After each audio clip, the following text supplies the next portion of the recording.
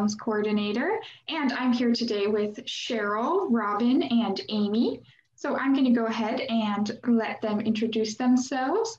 So um, if y'all just want to say your name and pronouns and just talk a little bit about what you do. Um, Cheryl, do you want to start? Sure, happy to. Uh, my name is Cheryl Crooks, and I'm Executive Director of uh, Cascadia International Women's Film Festival, which we'll talk about. It's based here in Bellingham. And uh, my pronouns are she, her. Awesome. Uh, Robin, do you want to go? Sure. Hi, my name is Robin Cloud. I'm a writer and director based in LA, but hailing from Brooklyn, New York. And my pronouns are she, her, or they, them. All right. And Aimee. Hi, my name is Aimee Long. Uh, I'm a writer director. Uh, my pronoun is she, her. Awesome. So, to start off, the reason that all three of y'all are kind of connected to each other is through Cascadia Film Festival. So, I wanted to start off just having Cheryl explain a little bit about what Cascadia is and how it got started. Sure, happy to. Uh, we're just now entering our fifth season. This will be our first, I mean, our fifth festival. Uh, we're opening May 13th and it runs for three, um, I'm sorry, runs for 10 days this year uh, online because of the pandemic. Uh, we um, organized uh, ourselves, well, actually more than uh, five years ago, uh, but we're one of the few festivals in the United States that are solely dedicated to showcasing the films directed by women. And it's, it's a, a niche festival for that reason but it's important because um, there aren't that many women directors. Uh, still, the, the it's you know the equity is is not there in Hollywood, and we feel it's important that uh, you know we let women's voices be heard through their films, and showcase uh, the finest films we can find. And we've been very fortunate in finding some very good ones this year, uh, and uh, 27 films and directors from everywhere, and a lot of different films. So um, that's kind of what we're what we're all about. We're based here in Bellingham, but it is an international film festival because we accept films and look for films from all over the world, and we have uh, jurors that are based all over the world that help us find our short films in particular. But uh, we have a programmer in New York that helped us with our uh, uh, feature films this year. And we'll be online. Uh, usually we're at the Pickford Film Center in downtown Bellingham but not this year. so uh, maybe next year. Awesome.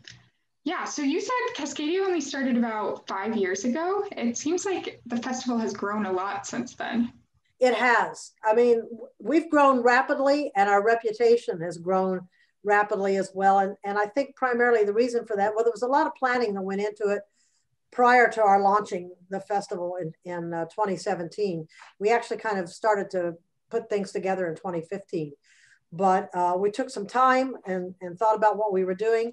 And then also we uh, have talked to a lot of festivals. We know a lot of um, festivals around the country and we belong to something called the Film Festival Alliance, which is a, you know, a, an association of, I think it's something like 600 film festivals. And that's been extremely helpful to getting us up and running a lot faster than uh, a lot of startup festivals would have been. We learned from a lot of people and had a lot of help from a lot of festivals around the country. It's been really, really super. And uh, we've just, and, and also we happen to have an enclave of people that live here in Bellingham that are quite extraordinary. Uh, one of our founding uh, board members, for example, founded the film program at the School of Visual Arts in New York. He lives here now. And uh, one of the producers of the X Files is on our uh, advisory board. Um, so there's a lot of people like that here that are living here because they want to live here. They have had careers or work elsewhere, New York, Los Angeles, Vancouver, Toronto, wherever. Uh, so we've had the advantage of having having them uh, on board with us from the very beginning to help us, uh, you know, get in touch with people, but also uh, to ensure the quality level of the festival because we're we're very we're a very selective festival and um, we like that because we really do want to showcase what, the most exceptional work we can find. Um, so we've been we've been fortunate that, that we've really grown rapidly and uh, not necessarily in the number of films, uh, but we are expanding that. But in, in, terms of the support that we've we've uh, received, not necessarily just in Bellingham, but across the country, and we've partnered with a lot of uh, film industry uh, organizations like the Alliance of Women Directors, uh, New York Women in Film and Television. Um, trying to think who else was Women in Media in Los Angeles as, well as um, uh, just individuals themselves who have really helped to you know get the festival off the ground uh, than we you know might otherwise have been. We, we had we in fact we heard when we were at, at the Pickford like our second year or something like that. Audience people were leaving who've gone to a lot of festivals. They said we looked like a festival that had been in, uh, around for ten years. So we really kind of got the jump on it. We're proud we're proud of that, and and we work hard to you know to uh, create a good festival, and we're especially we're, we work especially hard with our relationships with our filmmakers. Um, we maintain those as best we can, even after the festival, because we believe that part of the benefit of having a festival like us is, is the networking and, and the, the mentorships that we can help create within uh, our our alumni directors. We once they're a director, I always say you're part of the family now. so, you know, we, we can, I had a conversation just the other day with a, a, director in, in New York and, and she was asking me, asking me for advice. And I'm saying, well, I'm, I'm not the one to give you the advice, but I can put you in touch with someone who can. So um, that's one of the things that we like to see come out of the festival. And, and it has, has happened a lot. We've had some directors, the older directors more experienced that have mentored younger directors. Uh, we've had directors receive funding from some of our donors as a result of the festival. So, and we've also had a lot of students, uh, especially Western students who have volunteered and helped with us, interact with our directors and, and our boards. Uh, and they have gained, uh, you know, a tremendous amount of insight um, and knowledge uh, about the industry and, and how uh, the film industry works. So that's all kind of part of what we're, we're trying to do here. Awesome. So Robin, your short film, $2, is in Cascadia's festival this year.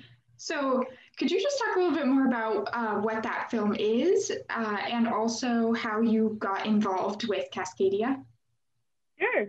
Um, so $2 is a dark comedy about a person who hates their day job and has to rebel against it in order to become free and pursue their dreams. Um, it's a film inspired by my own experience of like trying to balance having money jobs just to support my life as an artist in New York for many, many years.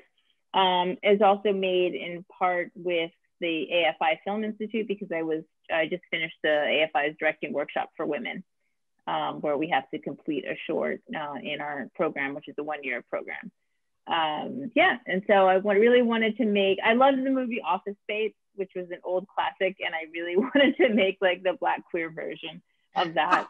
um, but just add some, you know, more contemporary issues to it. so that's where I sort of came up with the inspiration for it.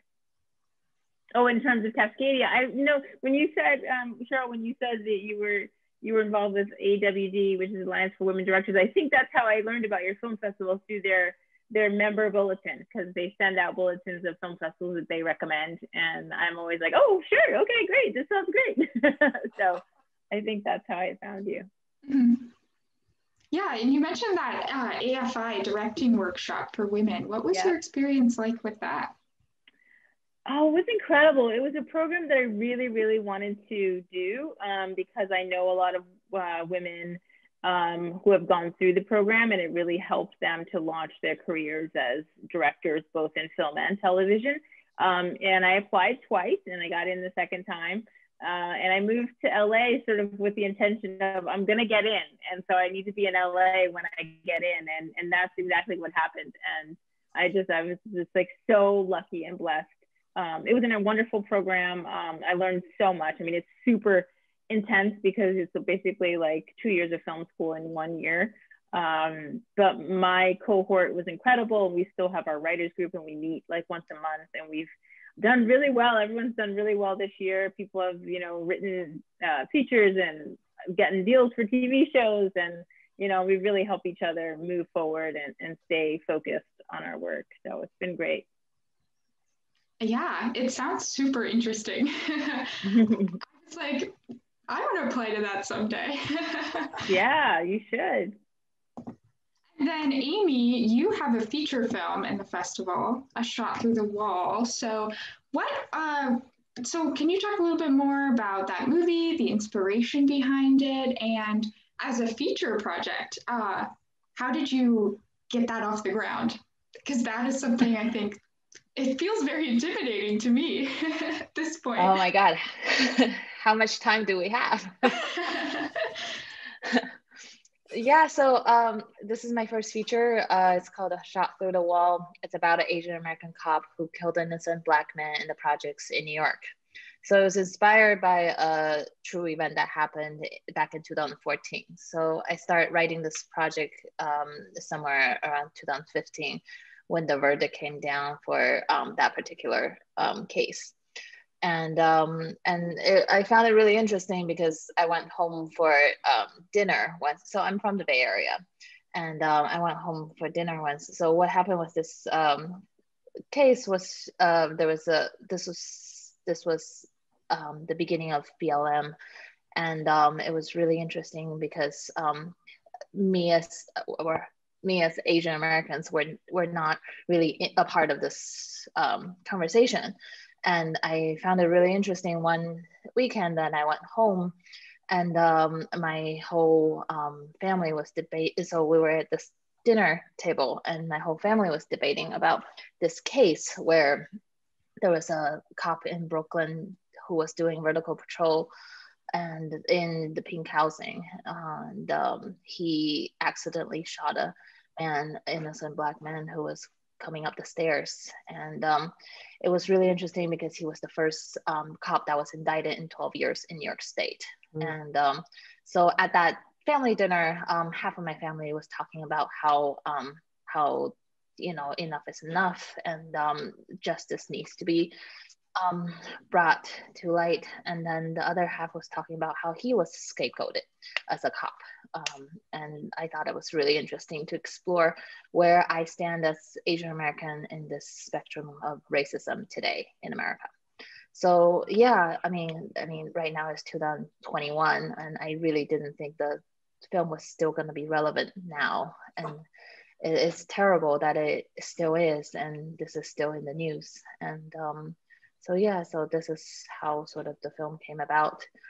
Um, yeah i mean in terms of feature um, i've been working for a little over a decade um, since i graduated film school at ucla and um, i was a commercial filmmaker and I, I, made a lot of commercials after graduating school. And then um, and there was a couple of this is sort of my third take of uh, of my first feature that I was trying to get off the ground, and that took that took a little over you know over almost 10 years. And we shot this three years ago. And um, it's just coming out now um, due to budget and everything else that comes along with it. So yeah. Nice. i hope that answers your question. Yeah definitely that's a lot of great information. So Cheryl, over the, the years that you've been doing Cascadia, uh, have you, what kind of changes have you seen in the film industry when it comes to women directors? Because you mentioned that Cascadia is all about uplifting women directors. Do you feel like there have been more opportunities coming out for women directors mm. over the years?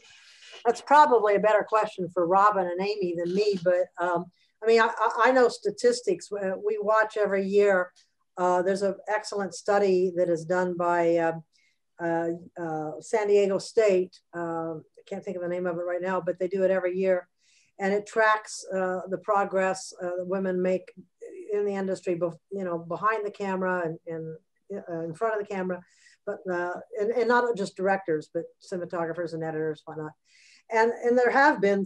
I mean, those percentages have gone up some, but uh, you know, it's just it's so small still. I think it's something like now up to maybe nine or twelve percent of the you know top grossing films or major films that the studios are doing uh, are directed by women. I mean, you know, that's not very much. It's certainly better than if I think of something like started at 3.2 when we started looking at it in in 2015. So it is better, and, and at least from from an outsider's perspective with the festival, uh, you know, what we see. I mean, like this year's Academy Awards, for example. I mean, the first this was uh, you know Chloe Zhao's uh, received the Best Director, so she was what the third woman to uh, receive Academy Award as a director, and first woman of color ever. You know, but um, suffice to say, there's plenty of work to be done. Um, you know, I mean, it, it's a tough industry to begin with, and women have just have never haven't haven't received the the equal uh, opportunities that they should have. I mean, oddly enough, in the 1920s, women dominated the industry as directors. I mean, uh, there were a couple of women that made 300 films. Uh, um, uh, I'm trying to think of Lois Weber for one one. And, and uh, those films, what happened was when, when the industry transitioned from silent films to talkies and the studios came in, women kind of got squeezed out uh, and relegated to other positions if they wanted to stay in the industry. A lot of them went became editors because as directors they you know knew what it took to put together a film and so they migrated to the editor's spot but they ended up you know getting stuck there basically and um, because of the studio uh, system the way it was women were largely overlooked. There were women working. Uh, ida lupino was one and, and dorothy arzner is another one. But it was just so few and far between. So there have been strides made and especially independent film is, is, a, is a great place for women to get a foothold. Uh, starting as a short filmmaker or often documentaries. We, we have, we find with the festival, uh, we find a lot more documentaries directed by women than we do, uh, you know, narrative features. It's, it's a lot tougher to find the narrative uh, features. And a lot of that has to do, I'm sure Aimee can tell you, with, with financing uh, restrictions. I mean, you know, it's, it's tough.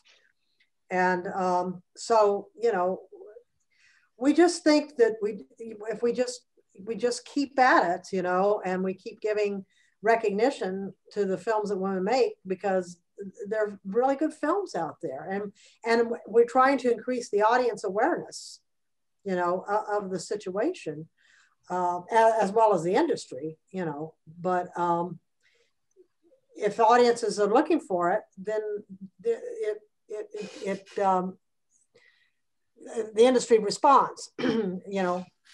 So um, at least that's the hope. Um, and and there needs to be a lot more done in terms of uh, at the executive level uh, in the studios, uh, you know, and, and, independent producers and whatnot. I mean, um, it's been a long time. I, I don't know now who's the heads of the different studios, but I remember I used to work for Time Magazine, and I remember that when Sherry Lansing uh, you know, was appointed the head of the studio. That was a cover story because it was just like had hadn't been done before, and she she didn't think it was so unusual. I, I saw an interview recently with her, and she was saying I couldn't understand what the big deal was, but it was a huge deal, and it, it still would be a big deal because they just don't. There's not that many women, you know, uh, calling the shots, as, as you will say, uh, you know, in, in that position. I don't know. Would you guys agree? You're more, you know, right there, feeling the than I am. Yeah, I'd love to know about both of your backgrounds, how you kind of got started in film, and how you feel like things have evolved over the course of your career. Maybe you want to take it? Do you want me to go first? Go um, for it. okay. So, well, I studied film at Howard University way, way, way back when. Um, and then I worked in the business for a very, very short period before like totally switching fields and being like, I want to study architecture. And so I did that and then worked in architecture for 10 years in New York. Um, and then I started doing stand-up comedy. And in that process, writing, writing sketches and then eventually like directing short sketches and I was like, oh, I really like directing. And then I wrote a short play that did well in a local like theater, a queer like theater um, festival. And I turned that into a short film. And that was my first film that I made like in like 20 years. Um, and it just did really, really well. And sort of, I, I got on set and I was like, oh, like this is everything. Like directing is everything. Um, it's all of the artistic things that I like to do, you know, because I was like in a band and I like, you know, so you're like dealing with music and costumes and production design and and making decisions and being in charge and all the things that I like. So um, I finally realized that directing was my thing. Um, and so then I just started pursuing it, you know, pretty doggedly. And I've made a film every year since then. Um, and it seems to be working out. But in terms of the the industry, yeah, I mean the industry is totally. We've had this conversation before, Cheryl, and our other panel. It's just mm-hmm. like, you know, things need to change dramatically.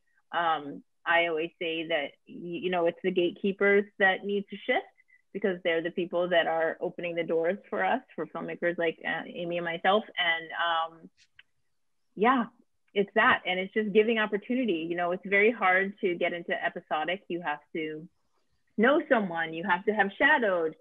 When like a white dude can come and he's made maybe a two minute short and they're like, oh yeah, he's got it. And they'll give him an episode. Um, but for us, we have to prove ourselves if we're women of color, even like more so, you have to prove yourself so, so much. It's like almost absurd mm-hmm. um, in order to do the thing that, you know, is what we already know how to do. so it takes sort of someone taking a chance on you in order to get an episode and then you can't get an episode unless you've kind of already done it. So it's a very insane system. Um, but eventually I, I, hope to break into that. Um, that's my goal for either this year or, or 2022 um, yeah. So we'll see what happens. Awesome. And what about you amy? I, think I've had very similar experiences uh, with episodics and things like that. It's very much of a game of chicken and eggs. And um, um, yeah, I came from a different background. I studied math in college, um, algorithm. I went into finance for a little bit um, and realized this is not exactly what I wanted to do. And um, I just happened to be on set. I did an internship at HBO and, and I just fell in love with it um, with being on set and just the energy and everything. And and I, I mean, growing up, I didn't think this was an option. Um, growing up, you have, I mean, as Asian American, you have um, engineer, math, where, you know, very st- stereotypical. Um, I grew up in a family that's very stereotypically Asian American. So, um, yeah, and um, and I love being on set, and um, I got very lucky with the commercial, and then um, and then I I continued directing commercials, but um, every single one of them I have to. I think the first day or so I have to prove that I, I can do what I do, and um, and also you know I just every time on on set, everybody asked if I was, uh, my name is Aimee Long, Everybody asked if I was Aimee Long's assistant or something uh, when I first pull up to this to the set. So that happens to me a lot. And um, mm. but yeah, um, finally, I mean, years later, I did a couple of shorts um, um, during these um, in the interim, and um, and um, yeah, this is my first first feature. I'm very proud of it, and um, it's a long time coming. But yeah. Can I just interject? When you see both these women's films, there's no question they can direct. I mean, they're, they're quite different. Robin's is comedy and it's wonderful and it's loaded with great characters. I, I gotta say, some of the best characters. And, and Aimee, with the suspense and the way she builds, you know, the suspense and, and, and, and uh, all the little details that are in the shot. Uh, there, it's clear both these women are good directors. And I think the challenges that lie not only for them, but for, you know, a lot of, a lot of women uh, in particular is is exactly what Robin says. You have to keep proving yourself over and over again, which is, I'm sure from their end, it's got to be extremely frustrating because, you know, take a look. yes, they can do this. And that's part of, you know, what, what we're trying to do is showcase and say, yeah, look here, these women can direct and they do it very well. Yeah. Thank you, Cheryl. I think these, I mean, thank you for thank having you. us. I think these are, these are the kind of exposure that we want. And, um, you know, to, to be able to be a part of showcasing in the, in the film festival like this, it's, it's amazing. Mm-hmm. Yeah. So, are there any films or filmmakers that really inspire or influence your work? Oh my God. Well, I love Barry Jenkins. Um, he's one of my favorites, like contemporary filmmakers. Um, Julie Dash and like Daughters of the Dust is probably one of the reasons why I'm a filmmaker. It's an old, old movie, um, but absolutely incredible. Mm-hmm. Um, and gosh, yeah, there's so many. Wong Kar Wai is one of my favorites, also incredible. Um, so those those are my top.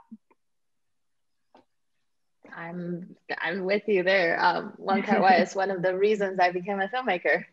Yeah. Um, the combination of him and Christopher Doyle is just I, I wanted to be a DP in the very beginning when I started out. Mm. So that was my inspiration. And um, and um, I, I was lucky enough I got to work with him for a little bit on Grandmasters in China. It was it was an incredible experience. I learned a lot. But um, yeah, that's that's one of my top ones too. Nice, great choices. yeah, and you know Julie Dash. Uh, Robin brought up Julie Dash. Julie Dash is a perfect example of a director that was so overlooked for so many years. You know, uh, and and fairly recently she started to get the recognition that she deserves. But uh, there's so many directors that are like that, you know, that it's, it's really, um, it's really a shame to bring them into the spotlight. We, you know, at Cascadia every year, this year we're not doing it because we're online, but we have a, uh, an honored guest program. And we've had uh, our, our, two honored guests. Last year, the honored guest was supposed to be the women's uh, suffrage movement. And uh, then, of course, everything kind of fell apart with the, the pandemic.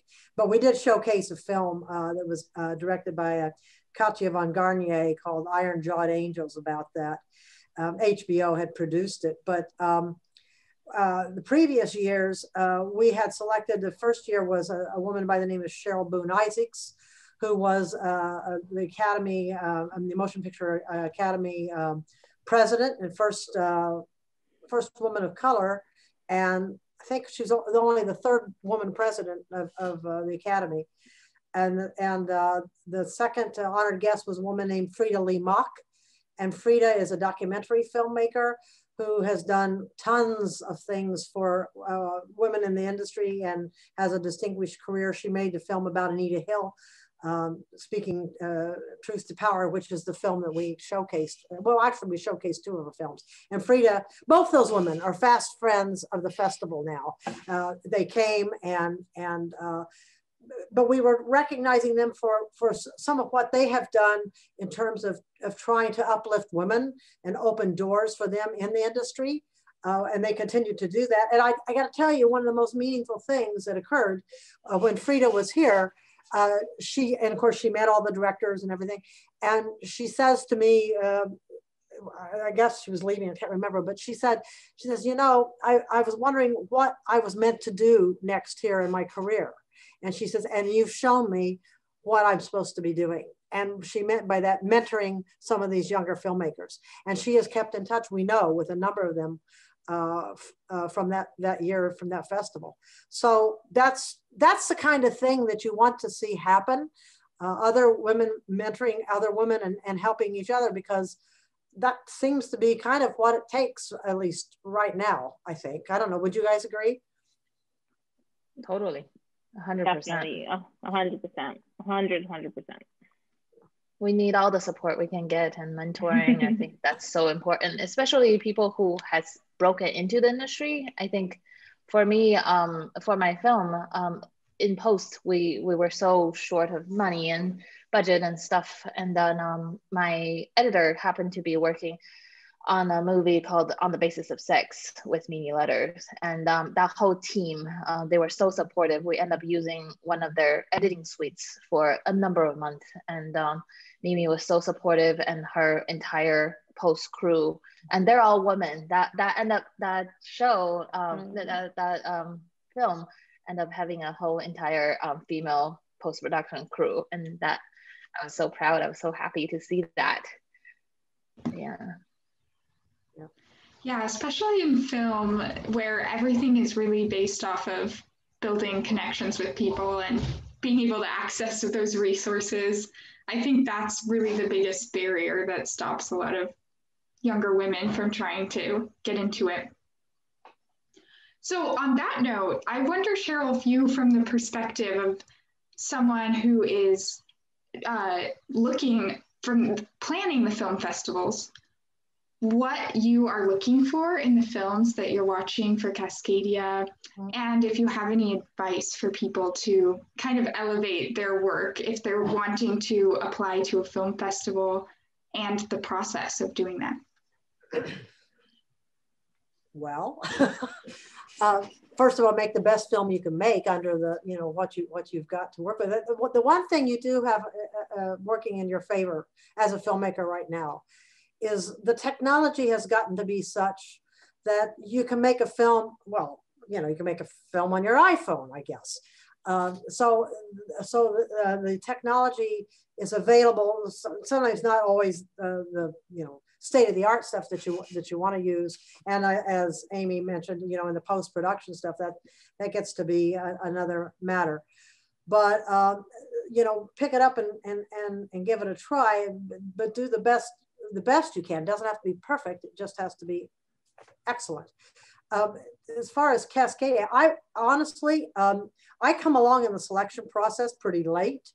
Uh, we have, um, uh, as I mentioned earlier, we've got jurors that for our short film process that are based uh, not just in Bellingham. We've got about a third in Bellingham and a third in Los Angeles and New York, uh, DC, I forget where else around the country, and then third internationally and they are all, um, all but maybe a couple of them are uh, in the film industry, either uh, directors of photography or directors or writers or producers or uh, film professors, scholars. It's a wide range of people.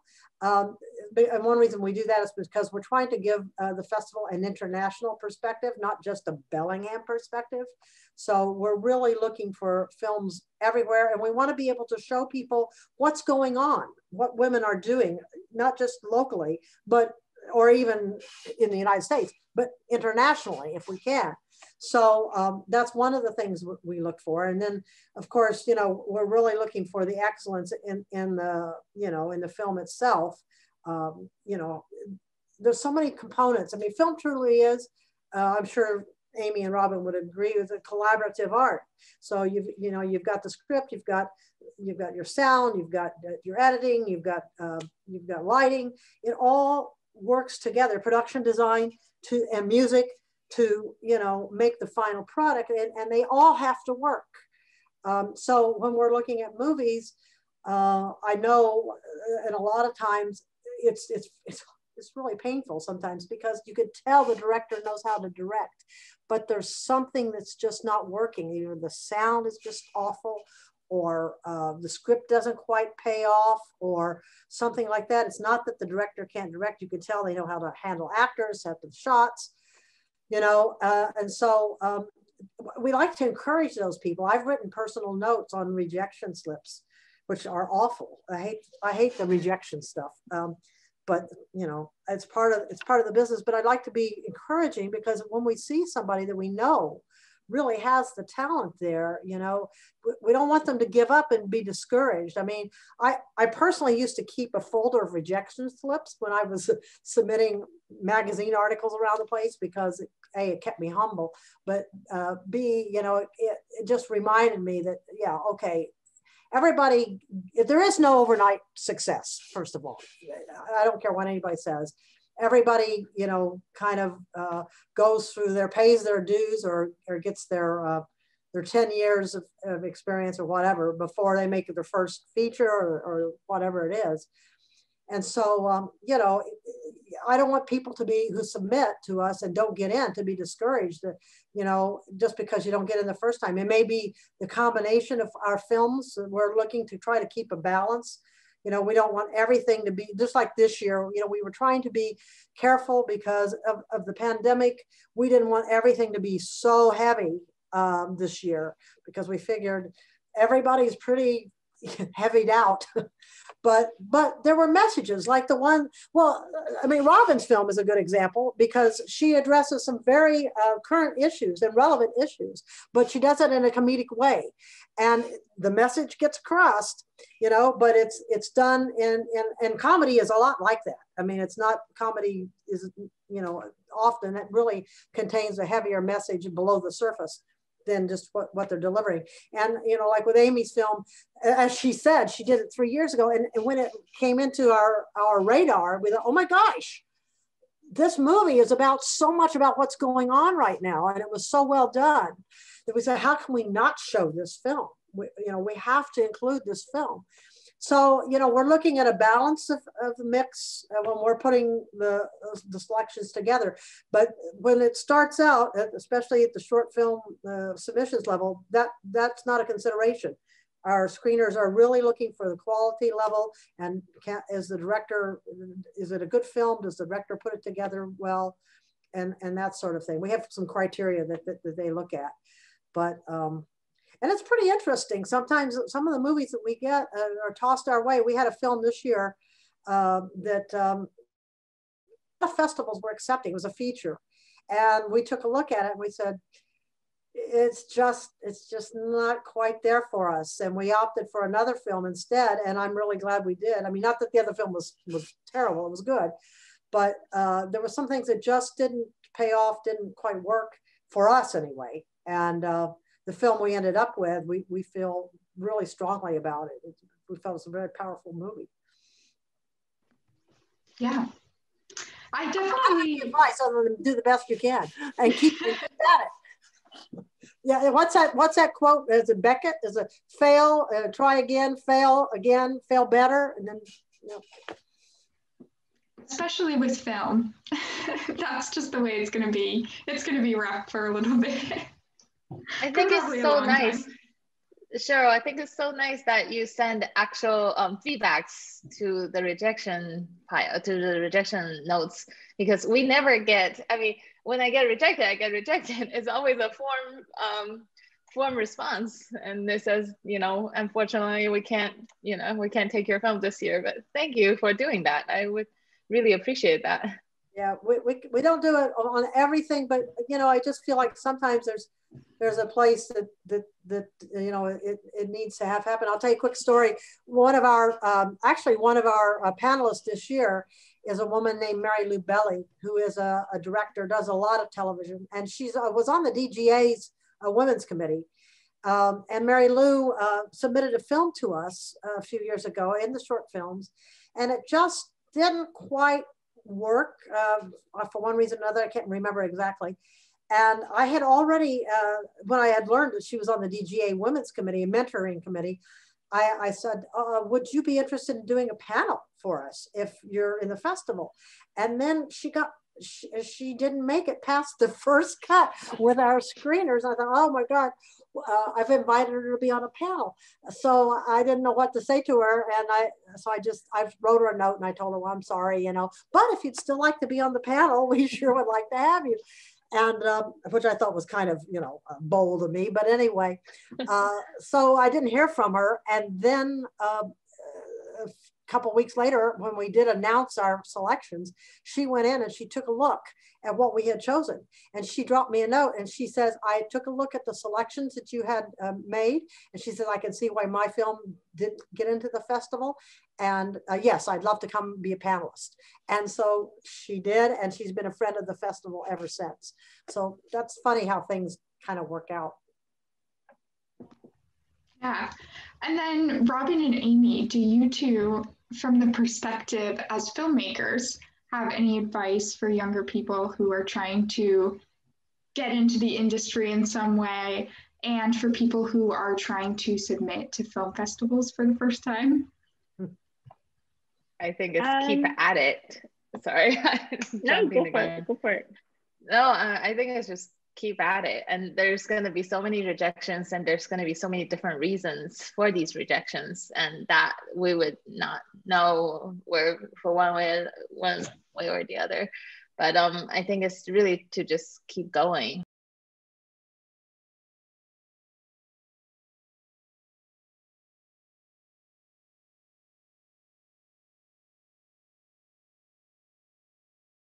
You know you if you're making a short it has to partner with a feature generally or it has to be in a shorts program that then so that they can create a program that has to fit in with other films so there's so many components and then it just sort of reminds me of like when i was um, you know in, in new york early days trying to be an actor and someone gave me advice of like oh you know, you might walk in and, and the casting person, you remind the casting person of like the, the person that bullied them in sixth grade. and that's why you didn't get the job. And so you just you just never know you know you just have to keep try not to take it personal. It's hard um trying to take it personal um and keep making art. And then in terms of like your filmmaking skills and and things of that nature um i would say watch so much and learn what you like and what you don't like and why you you don't like it and why you like it um, because I think eventually, you know, you have to, as an artist, you ha- you start off sort of imitating your heroes and then or heroes, and then you have to find your own voice and your own creative eye, um, and that takes practice. But knowing what you like, because um, now, like, sort of, I watch TV, episodic TV, and and see what are people doing that's really different and unique because it is television, right? And so you know, people don't expect it to always be cinematic, but there are those directors there. Like, for example, one of my favorite TV directors is Karyn Kusama. Um, if you don't know her, she's also a filmmaker, director. Um, but you know, she did an episode of Outsiders, and I and I didn't know that it was her episode, and I watched it, and I was like, this, this, what the coffee cup? Like, what? This episode is so fire! And then I looked, and I was like, oh, of course, like yeah. it's Karen, and that's why it's so good so you know having your own style and your own flair um, you can only do so much when you're doing television because you know it is a, show and it's you know they have a vibe too but you know you still can you can find your way to bring bring your own unique your own unique style to it mm-hmm. yeah. and I, I think i think what robin and Aimee both said is so important about and it's so hard for artists i mean not taking it personally because i mean as an artist and no matter whether you're a, you're a writer, actor, director, a photographer, what you're putting yourself out there and your art, and you're so vulnerable because it means so much to you, and you've poured your heart and soul into it. You know, I mean, I, you know, I haven't been a professional photographer. I mean, I know I know how this feels, and it's just you, you just feel, oh, I don't know, eh, but you know, you you've got to kind of put that aside because, as Robin said, you can't really second guess sometimes why a festival hasn't accepted your film. There's a myriad of reasons it could could happen. I mean, you could have another film that's just as similar or something. You know, who knows? But uh, and and just to just to keep be persistent, uh, as hard as that that is to do, that's probably the best piece of advice. And I would say, if you're a director or a writer, even for films, watch movies. Watch lots and lots and lots of movies. Yeah, I I ask that question about advice for younger filmmakers a lot, and that's probably the thing I hear the most. Watch a lot of movies. Yeah. Which makes me feel good because then when I'm just sitting on my couch watching movies, I'm like, this is important. But you could you learn from the bad ones as well as the good ones, right? Mm-hmm. Yeah, and read scripts yeah. too. You know, I think it's like if you want to write, like the most important thing is learning how good writers write. I mean, learning how to express a, a visual language is is it's really hard. yeah. And the people who do it well do it really, really, really well. Um, and it's super important to read scripts too. And I would put a plug in for us on that because as part of the festival, one of the things we do is something called the Script Studio. It's become one of our most popular parts of the festival in the live event. And we selected by submission four short film scripts, which we did again this year, directed by women. And uh, this year, because of COVID, uh, we've recorded the readings. Typically, we have actors who read live for, for the directors at the script studio.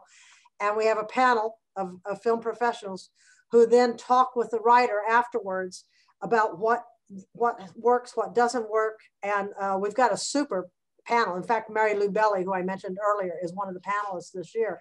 And it's been, uh, we've had other directors who, who, come to the festival who go to the script studio and they said it's, it's so instructive. They, they said even, even they have gotten a lot out of it and our audiences learn because audiences, I think a lot, I don't know, a lot of people don't really know how all this stuff is put together. And they learn a lot about what it takes to make a good script. And um, anyway, we're, we're proud of that because we've had a number of, of scripts that's come out of the script studio that have gone on to have films and get in festivals. And so that's, and that, that's open to the public and, and free. Uh, we're going to do two sessions this year because of the online thing on a Saturday and Sunday, the Saturday the 15th and Sunday the 16th. And uh, the link to it, it'll be a Zoom webinar and it'll be available through our website. So anybody listening to this or seeing this podcast that is interested in, in script writing or anything of that sort, you want to go to that because you're going to learn a lot. Yeah, so the online version of Cascadia is happening this weekend. So can you just tell everybody how people can see that? Yeah, well, so they can go to our website, uh, cascadiafilmfest.org. Everything is there, uh, the schedule. Uh, you can go to our virtual page and, and see we have, uh, you know, the passes are on sale. The festival opened uh, yesterday, uh, Thursday, and it'll be running through um, the 22nd. And we have 12 different film programs of 27 films so uh, you can choose to uh, buy a, an all access pass, which will give you uh, access to all of the films, all of the interviews, all of the panel discussions, Q and A's, uh, the virtual festival lobbies, which we are doing this year where people can come together. Um, we have uh, four of them set up uh, during throughout the festival where people can just sign on through Zoom. And if they want to ask a question about a film or get, uh, you know, somebody's uh, thoughts about what they thought of a film, maybe some of our directors will drop by and, and talk a little bit about it. Uh, you'll have the opportunity to do that just like you do in a, in a real lobby situation. And um, then we also have uh, the, um, student passes, so it's a little less expensive, but the students get access to all the films and, and the interviews, so they should take advantage of that. And, or you can select individual programs. If you don't think you have time to see all 12 programs or won't get them all in, you wanna see a couple of films, like you wanna see Aimee's film, you can go in and you can select it, uh, which is something new this year. We, uh, it's, it, the online thing has changed a lot of things for us this year and and uh, you know we've really worked hard to make try to make it a good experience for the filmmakers as much as we can we're doing some virtual events with them to try to simulate and create some of the same things that would happen if they were here um, it's not quite the same but you know it's it, it's the it's the new world um, and uh, for our audience to make it easy for them to order. I think it's I think the platform work, works great. It's really easy. I heard from a couple of people today. Very easy to go in and see what the films are about, choose the films, and uh, we've got a couple of how-to videos if you don't know how to get them onto your big screen. Uh, we've got that uh, covered, and and then every day you're going to get an update, a daily digest telling you what is going on that day, what interview you have access to, or uh, uh, what film we can suggest. So there's a there's a lot happening, even though it's online. awesome. Well, thank you all so much for talking with me today. Thank, thank you, for, you having, for having, me. That's been great, Raven. And and I, I got to especially thank Robin and Aimee for taking time from their busy schedule because uh, we know their time is valuable. And, and thank you for ha having all of us and, and talking about women in movies. Yeah, it was great to talk to you all and great to meet you too, Robin and Aimee. Thank all you right. for having Thank us. Thank you so much.